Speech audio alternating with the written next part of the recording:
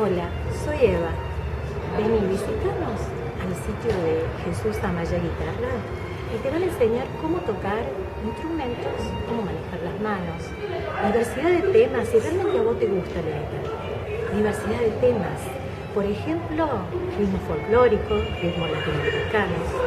eh, excelentes profesionales, en donde ellos te van a instruir, te van a guiar, para así vos un guitarrista como el de los sueños, claro, de Amaya Guitarra